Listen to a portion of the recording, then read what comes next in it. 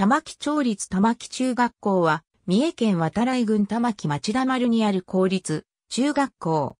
玉木町が設置する唯一の中学校である。2019年5月1日現在の生徒数は13、学級。玉木町出身で、朝日新聞社の創業者である、村山隆平にちなんだ、村山賞は、玉木中学校卒業生に贈られる。学生改革により現在の玉木町に相当する地域には、1947年に、拡張村に新生中学校が設置された。すなわち、田丸町に、田丸町立城山中学校、東外城田村に、東外城、田村立中学校、有田村に有田村立中学校、加害城田村に、下外城田村立加害城、田中学校が開校したのである。田丸町は廃止された青年学校を利用して、城山中学校の校舎に当てた。ところが、翌1948年6月1日には、教育非常措置により、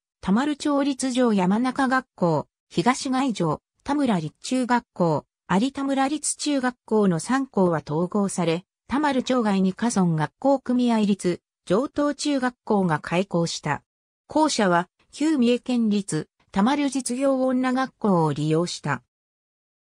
加害城田村は、翌1949年に白田村と学校組合を結成し、加害城田村城、田村学校組合立城下中学校となる。1955年4月、田丸町、東、外城田村と有田村の一部が合併した牧町が発足すると、田丸町外に下村学校組合立、上東中学校は、玉木町立上東中学校に改称した。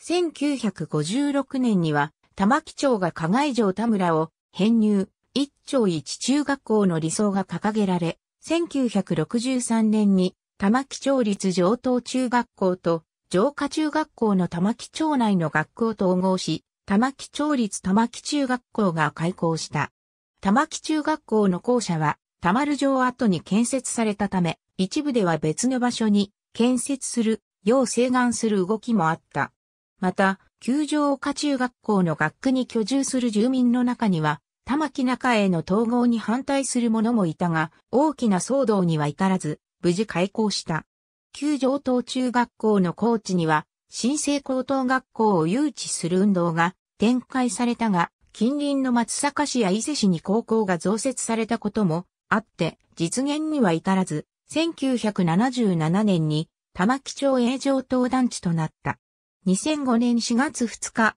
玉木中体育館で玉木町生50周年記念式典が挙行された。2008年10月24日には3階にある理科室でボヤが発生する騒動が起きた。2010年9月13日、太陽光発電施設の完成記念式典が挙行され、玉木町は三重県内では初めてすべての小中学校に太陽光発電施設の設置が整った地方公共団体となった。野球部は2002年の第24回全国中学校軟式野球大会で準優勝しており、2014年、2015年も東海中学校総合体育大会軟式野球大会で優勝し2014年は全国中学校軟式野球大会では準々決勝進出を果たしている。吹奏楽部は三重県吹奏楽コンクールで2006年、2008年、2011年に金賞を獲得し、2005年には東海吹奏楽コンクールに出場している。ありがとうございます。